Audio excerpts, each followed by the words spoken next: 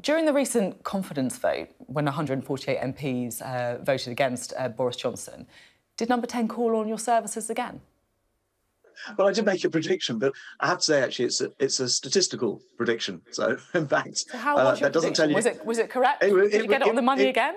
I did, um, but but but you did uh, get it on the. Uh, you, say, on, you, you wait. Sorry, you so you correctly predicted 148 MPs again.